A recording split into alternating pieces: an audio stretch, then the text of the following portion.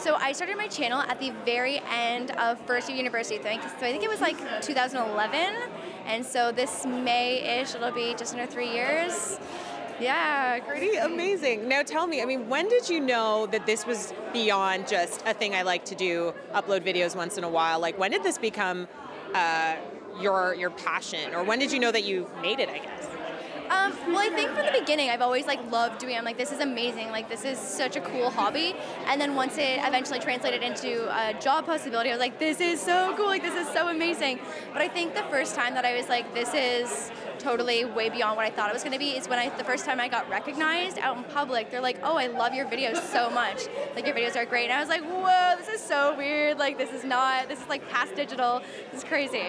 If you have 1.5 million subscribers. It's probably gone up since I've said that. But uh, I mean, in terms of the impact, like you're saying, you know, you were recognized, but knowing that you have that many people tuning in, I mean, is there a lot of pressure to hold on? Obviously, you want to grow your audience. Like, what what has that been like in terms of because this is also a business, as you said. Yeah, yeah, for sure. Well, I think everyone's looking to like grow and reach new audiences to share your content with because, like, I find that my community we're all passionate about the same things. So it's awesome being able to connect with other people that love DIY, that love doing like lifestyle and making their own Halloween costumes and stuff like that. So like, I definitely want to grow as much as possible, for sure. What do you think it is about your videos that has grabbed the audience? I mean, there's lots of people that try to launch a channel and they aren't as successful. So what is it about yours that you think really pulled people in?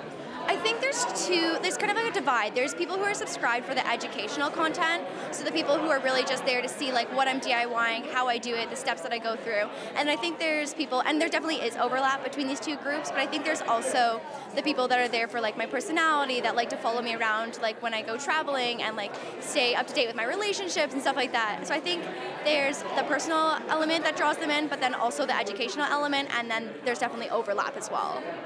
I mean, you're in a unique, unique position because you just graduated, just so congratulations. But uh, going forward, I'm sure when you started university, you didn't necessarily know exactly where your career might lead, but now it seems like you have so many possibilities. What are your plans going forward?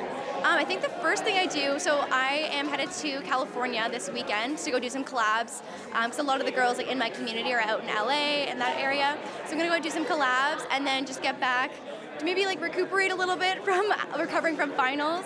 But after that, I don't know. Like I'm gonna see what it's like to work nine to five doing YouTube and see how much free time I have. Maybe start doing more videos. I'm thinking about doing weekly vlogs. So we'll see. I don't know. It'll be interesting.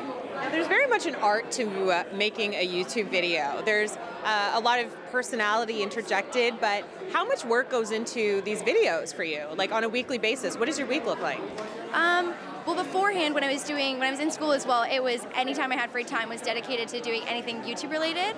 But videos can take anywhere from 20 to 40 hours between coming up with concepts, sourcing materials, filming the actual DIY, and then the editing is the biggest bulk of the process. So then editing as well, and then um, putting it out there, and then doing all your social media and stuff. So it definitely is a big process. But now it'll be nice to like actually schedule my day around that. Yeah, you'll have you'll have some more free time and a lot of a lot of decision making to do. Um, and in terms of you know the support, I mean, obviously you send your kids to university or college, and uh, you're thinking, oh, they're, they're going to come out of school and do this. But your parents must have been surprised as to how things have taken off for you. How did they react to your success?